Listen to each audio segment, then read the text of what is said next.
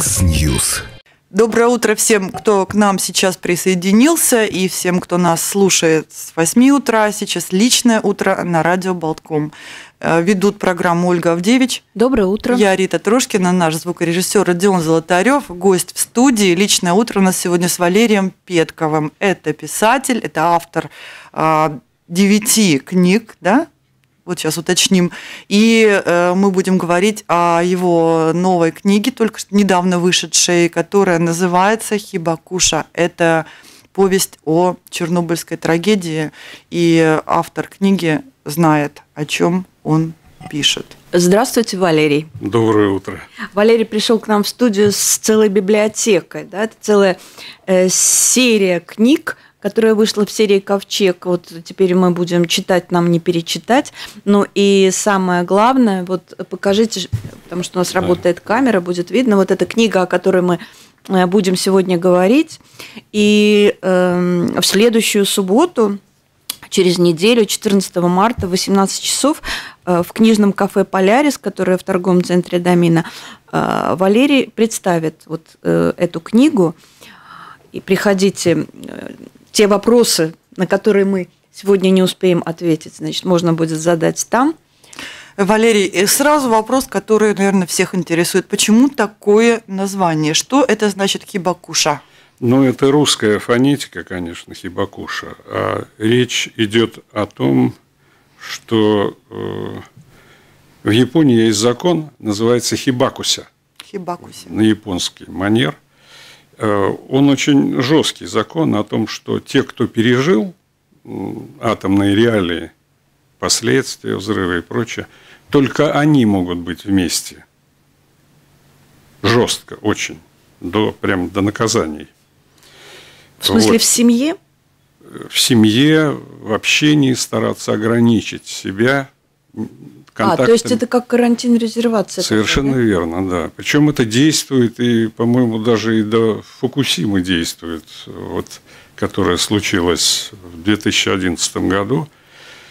Вот. А суть в том, что обстоятельства сложились так моего пребывания в Чернобыле. Я был там заместителем командира роты радиационно-химической разведки.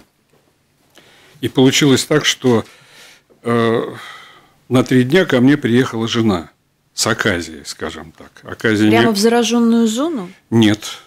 Лагерь у нас был в чистой зоне, вот, а рядом была деревенька Будоваровичи, выселенная. И вот в этой деревеньке мы медовый месяц такой, на три дня. В общем, такая авантюра небольшая с ее стороны и такая история такая потрясение, скажем, да, для меня – и когда я задумывал эту книжку, она, эта идея меня не оставляла, что называется, начиная с 29 июля 1986 года, когда я вернулся оттуда, э, первым катализатором в этой истории выступил Саша Блинов. Который... Это Александр Сергеевич Александр Блинов Сергеевич, был да. редактором газеты «Советская молодежь». Да, он выступил таким первым катализатором, как я сказал – попросил написать меня хоть немножко, потому что ни одной публикации еще в Латвии не было на тот момент. Как, когда это было? Это было сразу же, где-то июль-август. 80... Лето 86-го, да, лето 8... непосредственно после катастрофы. Да, и статья называлась «Эти 80 суток». Угу.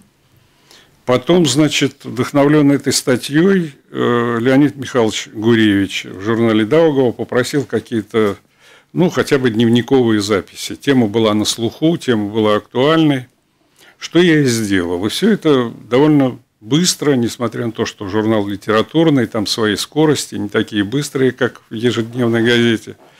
Все это появилось. А потом Татьяна Зандерсон э, пригласила на радио и сделала замечательную просто передачу. Латвийское радио. Да, да, которая мне самому до сих пор, в общем-то, ну, талантливый человек, радийный человек, популярный. Вот. И после этого я несколько раз возвращался к этой мысли, а потом... А это было советское время? Да, Вы да. могли, наверное, да. не все написать и сказать в Вот эфире, тоже удивительная вещь. Все это о Чернобыле надо было литовать. Mm-hmm. То есть ходить к цензору. Ну и когда я пришел, извините, когда я пришел к цензору военному, он ничего оттуда не убрал. И я с большим удивлением к этому отнесся. Я говорю, почему? Он говорит, ну, самое главное, чтобы не было географических точек в вашем рассказе. Там всякие страсти человеческие и прочие впечатления. Это ваше авторское право, да? Это ваше авторское право, только вот поменьше географических точек, конкретных привязок вот к местности. Вот. А потом начались такие дни, когда приходилось дважды в год, как минимум, отлеживаться в страдания, э, так по две, по три недели. Последствия, да? Да, ну как-то вот накатило. Прелесть э, радиации в том, что она не сразу, вот, солдата ранили и видно, вот она рана там ампутировали, не ампутировали, условно говоря. А тут все это медленно с кровотоком доходит, и сама скорость другая. Как это все это, наверное, влияет на человека. И э, было такое 29-е отделение, целое, целый этаж, то палаты по 6 человек. И вот мы там, значит, вспоминали былые дни. И однажды зав. отделением Татьяна Александровна Фарптух взяла меня за руку, привела к студентам, будущим медикам, и сказала, вот садись и рассказывай. И пусть они задают вопросы. Ну, я рассказал, наверное, понравилось. Не знаю, то ли зав. отделением, то ли студентам, но это стало уже какой-то доброй такой традицией. Я превратился в такого чернобыльского сказителя. А все это падало на какую-то почву. И где-то вот этот, условно говоря, локатор такой в затылке, он вертелся. И все время меня к этому возвращал.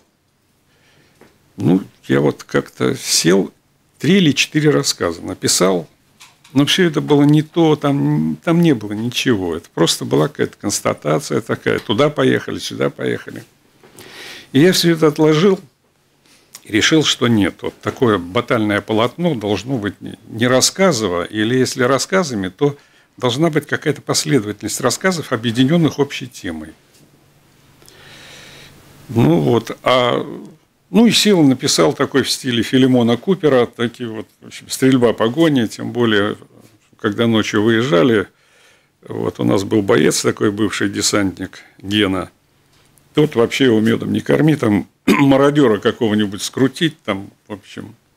И я как-то в эту сторону пошел и понял, что это, это не, не то. Вот совершенно четко в один прекрасный момент. То есть не Фенимор Купер должен быть, а должно быть что-то более пронзительное. Да, что-то другое. Ну, а что? И вот тут я понимаю, что самые известные романы всемирные, они о семье, о семье, о любви, потому что, во-первых, все начинается с любви. И Бог, и жизнь, и смерть, все от этого, да? Потому что если всерьез начинаешь думать о любви, то обязательно придешь к Богу. То есть все это вместе. И тут я подумал, почему такое очень важное для меня знаковое событие, вот приезд жены на три дня, оно меня как бы не влечет вот сейчас. И тогда от этого я начал от обратного возвращаться и какой-то момент понял, что страшно не хватает каких-то деталей. Хотя там мне казалось, что я настолько вот пропитан вот этим всем, всеми этими поездками, всей этой реальностью, всей той обстановкой. Вот. И книга пошла веселей. И пять лет назад я ее закончил. То есть сколько лет она создавалась? Получается, с 86 Она, по-моему, еще не, не закончена. Еще не закончена. Да, потому думается, что да, равно. это думается, какие-то моменты, насколько они важны, насколько важно вернуться к каким-то эпизодам. Но на сегодня хорошо уже то, что я поймал вот это главное. То, что из того, что я хотел сказать, из того, что перечувствовал и пережил, э, поймал. Валерий, а скажите, на сколько процентов она документальная и сколько там художественного вымысла? Так вот трудно быть объективным, но, наверное, суть книжки в том, что вот это вот очень личное, оно происходит на фоне вот этого страшного слома. И я старался не перетяжелить. Ужасами, и, да? Да, и я очень признателен вот четыре редактора издательства «Городец», но мы как-то оперативно, буквально за какие-то пару недель, вот добились именно вот этого текста, который вошел. И меня, ну, как я вам скажу, поражает. Нет, не поражает, потому что они профессионалы.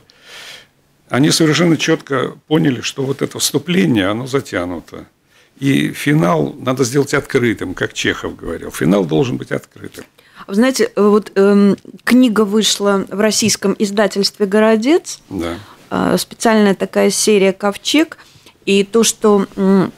ваш, э, ваши произведения, а это роман – Э, о Чернобыле, да. повесть Гита и еще несколько рассказов вот вышли отдельным томом в этой серии, в принципе, ну как, это достаточно такая высокая оценка, престижная, потому что э, вот на сайте, где они э, рассказывают об этой серии, у них написано, что главный критерий – талант автора. При его наличии даже небольшое произведение будет опубликовано в составе сборника повестей или рассказов или отдельным томом. Вот вы удостоились отдельного да. тома. А расскажите, как вам удалось попасть в эту престижную российскую серию? Ну, эта история построена, как многие истории, когда она заканчивается хорошим финалом, начинаешь вот эту мозаику складывать, и получается, что совершенно нет случайностей. Это кажущееся внешне, что вот это случайно, тот встретил этого, этот послал этому, этот опубликовал там. Вот. А получилось так, что Кому вы понравились там? Вот Андрей Геласимов приезжал в Ригу, он руководитель этого проекта. В общем, это, а, кстати, Андрей его... Геласимов автор «Тотального диктанта 2020». Да, совершенно да. верно. Угу. Вот, и он автор этого, этой идеи, этого проекта, очень много сил вкладывает, здоровья и прочего. Он признался, что прочитал рассказ «Саид», он есть в этом сборнике, и он заплакал. Для меня самого это было такое откровение необычное, ранее неизведанное, что да, мне писали, ну почему у вас в этом рассказе у героя пятка носка протерта? Пишет какая-то женщина возмущенная. Ну, какие-то детали всегда читатель находит что-то свое. Одни там пятку, другие еще чего-то. Ну вот он прочитал и говорит, я просто заплакал. Это человек, который написал роман о капитане Невельском. Да, великолепная книжка, да. да. Много у него. Да, степные боги и прочее. И я ему написал, стоит вообще еще что-то присылать. Он мне написал, шли все, что есть. И я, ничтоже сумняша, все, вот все, что было, несколько романов, две повести – и вот эти, и четыре рассказа. Рассказы они взяли абсолютно без справки, из повести убрали странички три. Ну и тоже правы. Все-таки вот приятно вариться не в собственном соку, а когда есть профессиональные редакторы, высококлассные. Это, это здорово. Это школа, это тоже, это тоже важно. Ну, и мы хотим напомнить, что телефоны прямого эфира 672-12-939 и 672-13-939 у нас в гостях в личном утре на Болткоме сегодня писатель Валерий Петков.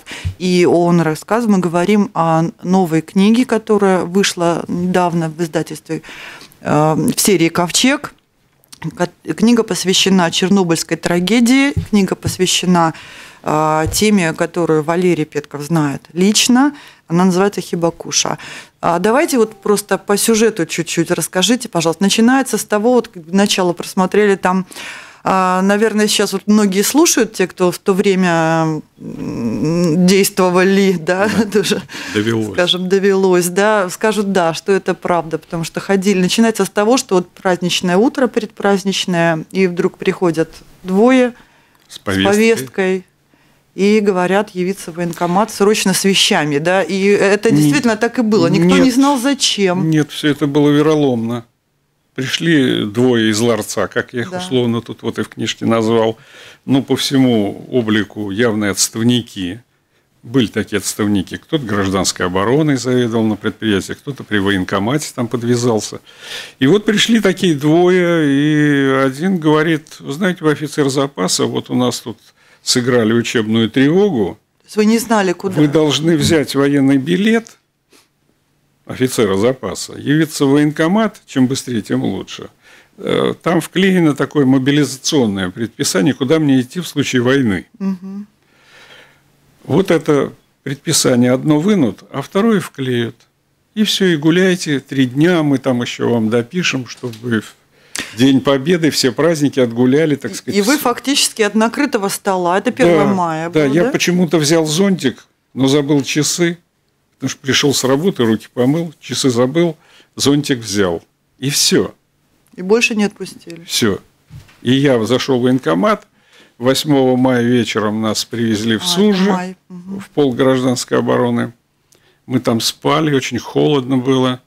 Под утро 8 человек проломили вот такой пролет забора и убежали в лес. И, кстати сказать, где-то при- примерно месяц назад я узнал фамилию человека, одного из этих восьми, вместо которого я поехал. Но это я говорю не потому, что во мне какая-то злость. Они убежали и все с Убежали, да. Ну, а Убежали, ну, я не знаю, судили, не судили именно их. Но я знаю, что два человека были осуждены как дезертиры. Но у вас там такая есть фраза, как раз когда вы этот момент описываете. Вот они забор сломали, удрали к озеру. Да. Они не по-мужски. Ну, в общем-то, не знаю, может быть, это чистоплюйство с моей стороны. Вот за, за эти годы встречается много людей. Кто-то бравирует, радуется, э, ну, скажем, тем, что бравирует, тем, что вот мне Ускользнул. удалось откосить. Вот слово такое, глагол Ну, кто-то такой за тебя пошел, да, Да, кто-то пошел.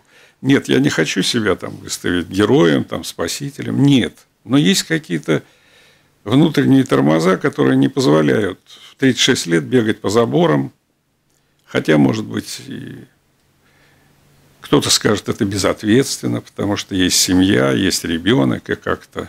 Но вы же Его- не знали, куда вас везут в Ну, момент. Ну, в общем-то, поводы были и потом спрыгнуть с поезда. Ну, как-то не- мне показалось это не солидно. Я не, не кокетничаю, так сказать, вот тут вот, да, а вот какие-то свои есть внутренние убеждения, которые не позволяют это делать. Во всяком случае, мне. Я не говорю за всех. Вот такая. А что касается ковче- ковчега, я чуть-чуть дополню. Вот когда Андрей Геласимов объявил значит, международный конкурс на участие в этом проекте, он когда приезжал в Ригу, он сказал, что больше 300 желающих значит, прислали свои, Авторов. всякие свои работы, авторов со всего мира практически. Ну, наши люди сейчас везде. Сейчас же, так сказать, хочешь и поезжай. И вот отобрали 17 человек вот в эту книжку. Она как визитная карточка этой серии «Ковчег». 17 человек. И в этот сборник вошли по одному, два, по три рассказа каждого из тех, кто был принят в этот проект. И теперь уже по отбору в эту серию напечатано 5, и вот Хибакуша, она шестая книжка. А всего их будет 17 по количеству авторов. Каждый Вот автор. Каждый автор будет книжек. представлен отдельной книжкой. Ну, книги такие. Красивый проект, да. Да. Сделан с любовью, полиграфия такая. С уважением к книжке сделана. А вот вы знаете, э, это э, роман, да? Да. но книжка книжка она не толстая по объему, да, и то есть это не, не тот роман, которого стоит пу- пугаться, что его сложно будет или скучно осилить Ну да. и прочитать. Плюс в эту книжку вошла еще и повесть и пару рассказов. И сейчас у нас небольшой перерыв. Да, мы продолжим через несколько минут после рекламы. Оставайтесь с нами. Mix News. Мы продолжаем личное утро на радио Балтком. Напоминаем, что в гостях у нас писатель Валерий Петков, автор книги Хибакуша, книга о Чернобыле, где Валерий э, лично был сам. Вот сразу вопрос такой: вы что там делали? Вы были туда призваны э, э, в роли, скажем, не в роли, как правильно сказать, заместителем В командира качестве? роты, да, в качестве, качестве заместителя командира роты радиационно-химической разведки. А чем вы там занимались? А занимались мы, когда сели в эшелон, загрузили нас в эшелон. В общем, из 30 человек роты было 3 или 4 человека дозиметристы, которые служили срочную службу, командир роты, профессиональный химик, э, и командир первого взвода Гуннар Ропманис. Это человек вообще знаковый для нас всех, потому что пока мы трое суток ехали в эшелоне, он просто тупо разобрал ДП-5Б, прибор, с которым надо работать, и мы уже чего-то чего-то Это знали. какой-то радиационный Да, определяющий. Да, Да? дозиметрический прибор, который определяет э, уровень зараженности, фон, грунт. То есть, в принципе, вы все его видели впервые, этот Ну, прибор. почти все, да. Ну, во всяком случае, человек 20 точно. Нас собрали, кого Как из котят. кавалерии, кого Да. из артиллерии. У меня вообще нежная любовь с Министерством обороны, потому что я срочную службу отслужил в танковых войсках механиком-водителем. Потом два раза побывал на сборах по два месяца. Э, Два года отслужил лейтенантом в стройбате. И Ничего 80 суток вот э, мне повезло там. Валерий, а занимались мы, Что вы делали? мы делали э, рот радиационно-химической разведки, вот давали карту, кусочек 4 на 4 территории, и надо было делать Замерять. зам- замеры. Это как бы такая текущая работа. Те, кто был свободен от этого, они, как и весь полк, занимались зачисткой территории. Просто тупо лопатой сгребался грунт. Вот. А средства защиты какие-то были у вас? Ну, как респиратор РМ-2. Э, у кого-то давали противогазы. В машине РХ, наша радиационно-химическая, это Бобик наш, газик. Там стоял еще стационарный прибор ДП-3, но мы его включали очень редко. Вот. Иногда прилетал самолет из Семипалатинска, там самая мощная радиологическая база, и приходилось брать пробы грунта.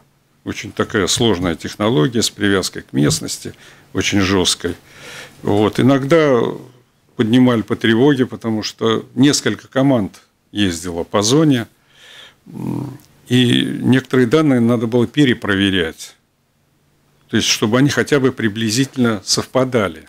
А было страшно вам, вот когда вы видели эти результаты замеров?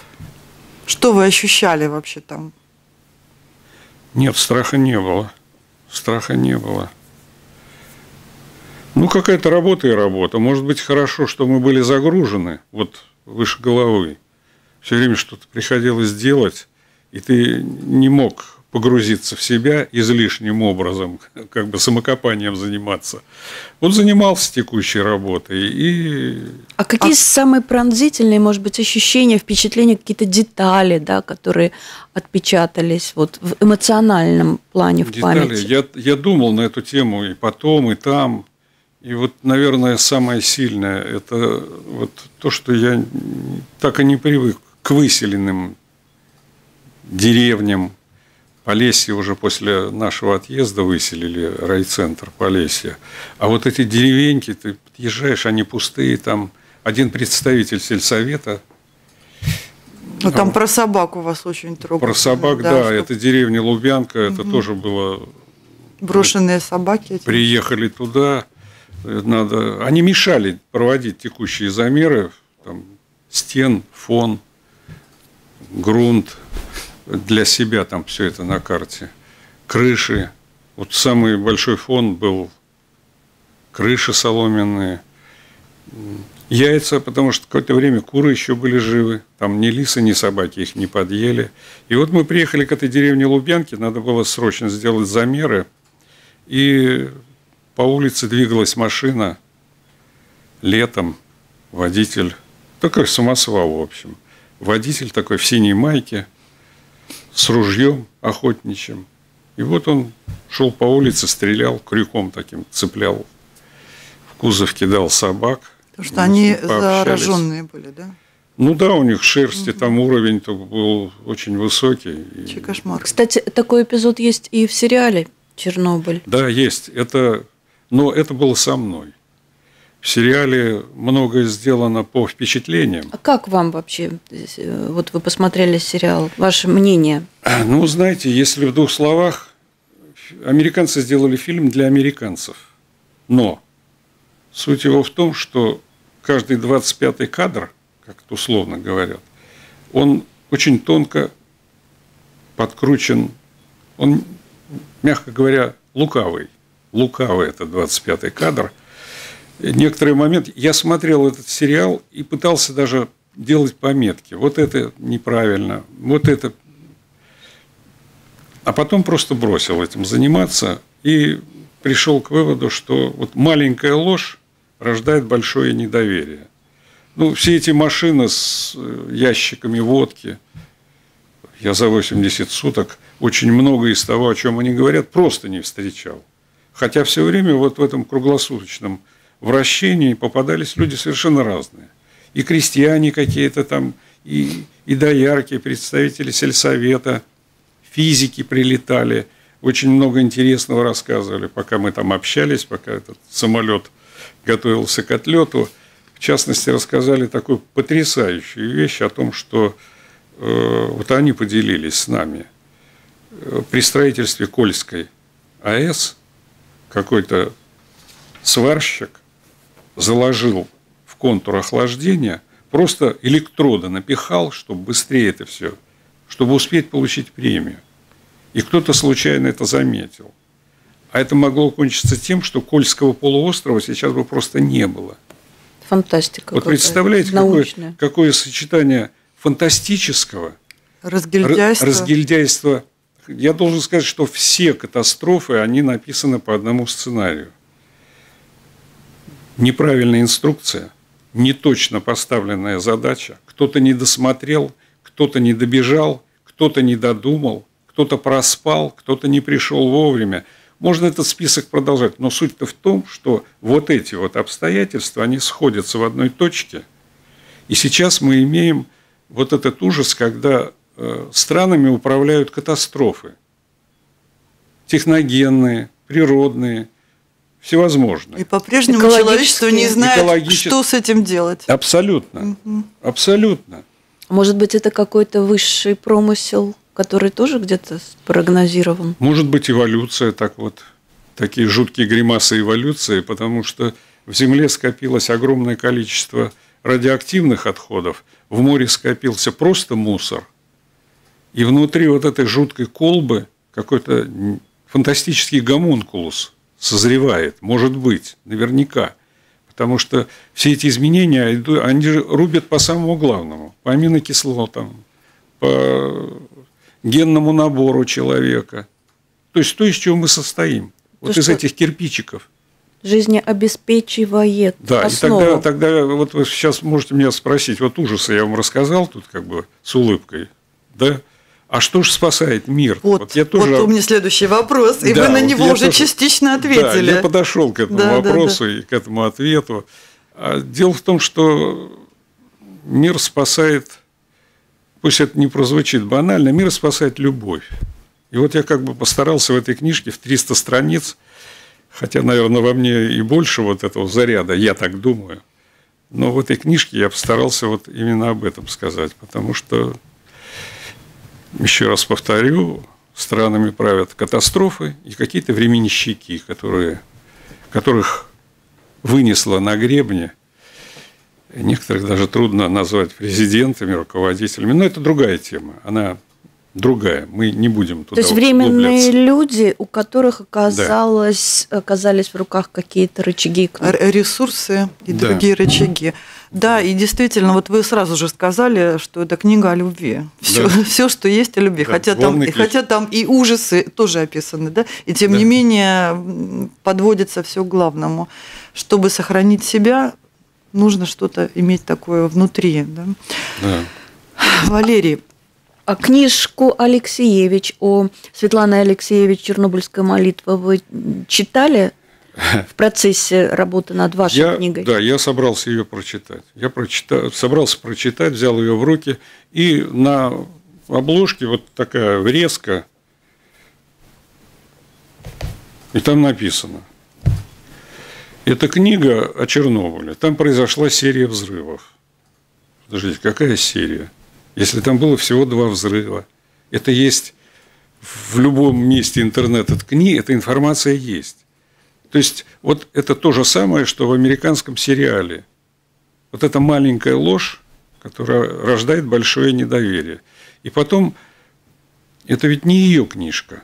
Она собрала впечатления, чьи-то там добавила свои какие-то эмоции. Но ее там не было. Может быть, и слава богу, что не все там были. Ну, я считаю, надо иметь некоторое нахальство, мягко говоря, чтобы э, рассуждать на эту тему, как-то углубляться, выносить какие-то суждения такие достаточно категоричные. Ну, я некоторых тем боюсь. Хочется про них написать, а вот что-то останавливает, что-то... Э, да. Скажите, пожалуйста, а в сборнике еще, вот я, я повторяю, что э, книга выглядит таким образом, что ее очень хочется взять э, в руки, раскрыть и почитать. Она небольшая по объему, там роман да. о Чернобыле и повесть Гита. Гита. Да. Гита это имеет какое-то отношение к Латвии? Это латышское имя? Нет, это имя индийское. То есть дочь одну из героинь этого, этой повести решили назвать Гитой. А повесть о том, как человек стремится уехать из родного дома, потому что ему там некомфортно, ему кажется, что там где-то лучше. И в поисках вот этого лучше он уезжает в другой город, заканчивает институт, путешествует э, по всей стране, доезжает до Якутска – ни много ни мало. А потом возвращается в свой родной город и понимает, что вот здесь он должен быть. То есть поиски бывают разные, но в данном случае поиск себя. Себя и не обязательно где-то там. Ну, то есть чаще, себя чаще надо всего себя никуда, никуда прежде и всего не нужно найти и уезжать, себя, определить, да, что да. да, вот здесь это я.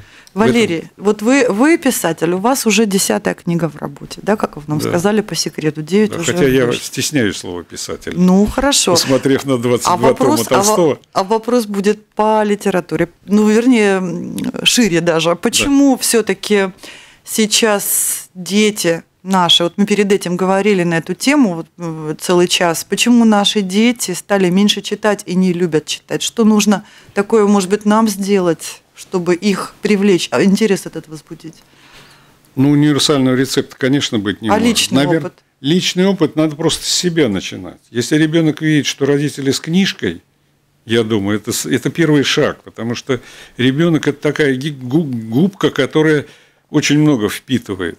И опять же я вернусь, все начинается с семьи, все начи... семья – ячейка государства. Вот, вот отсюда надо начинать. А когда все собрались за одним столом и вот, вот занимается вот, вот этим вот. Вот этим да, вот это, это имеется да, в виду имеется телефон. в телефоне нажимают кнопки, заходят компьютеры. в интернет. Да, без этого тоже невозможно. Я не, не призываю устроить такое аутодафе, выкинуть, там, сжечь вместе.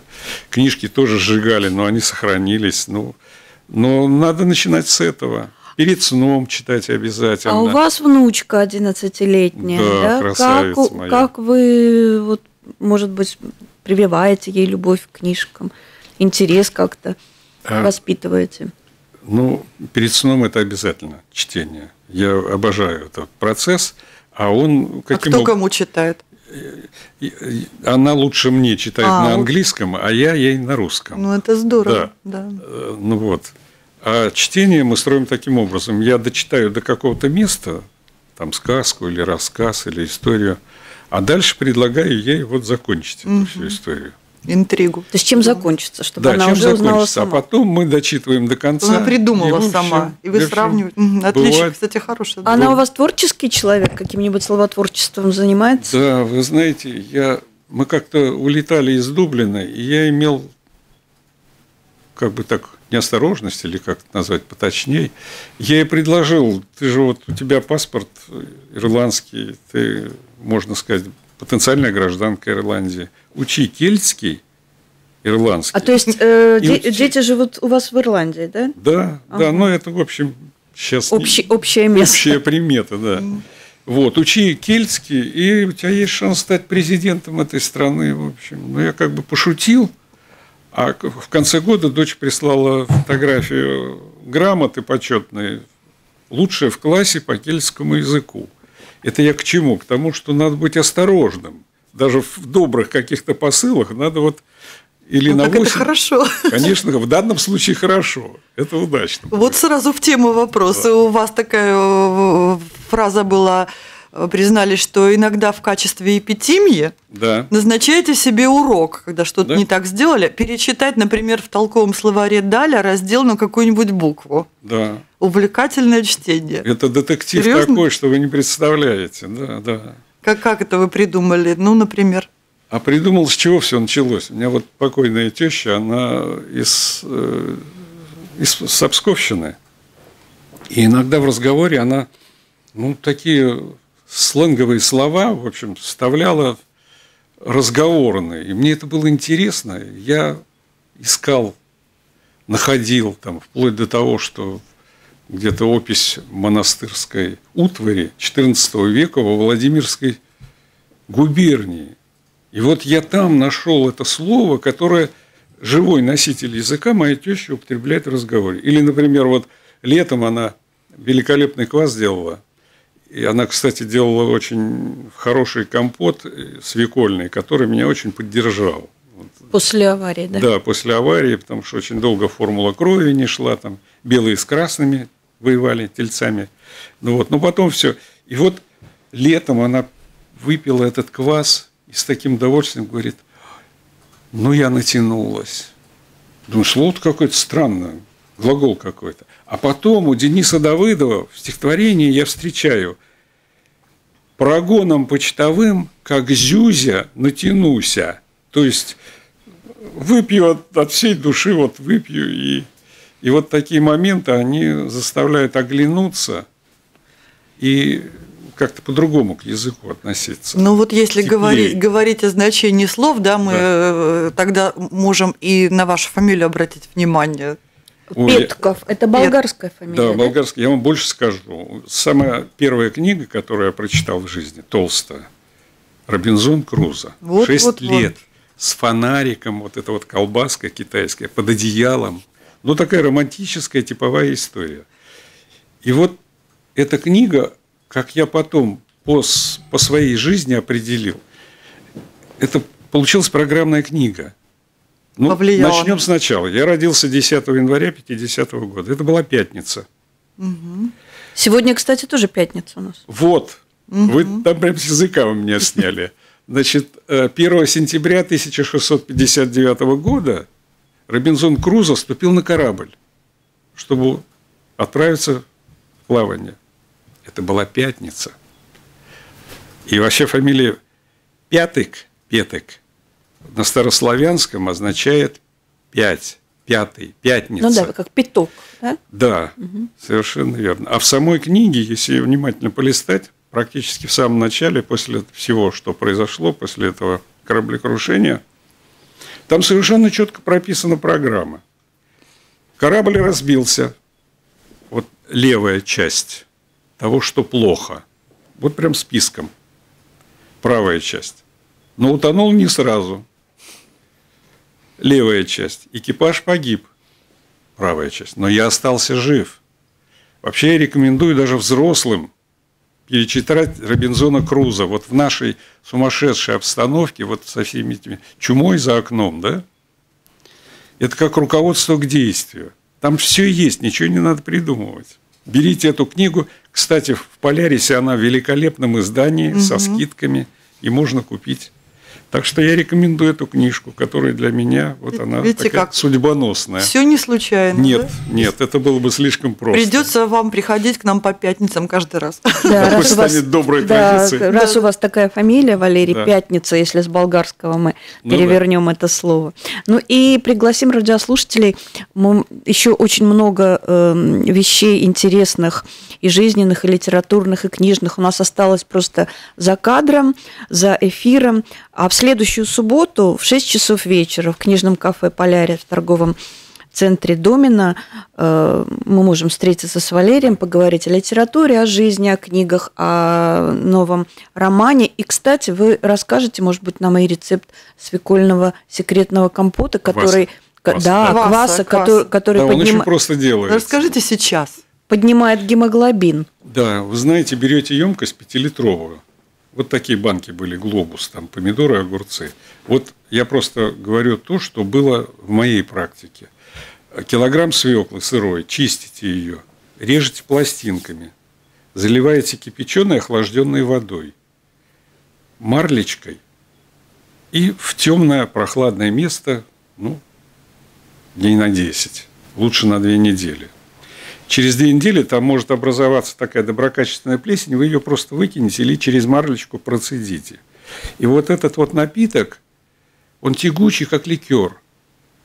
Свекла абсолютно белая. И вот я этим спасался. А еще теща мне делала такой вот кувшин муравленный. Я потом узнал, почему муравленный. Что это такое слово муравленный? Изнутри глазированный.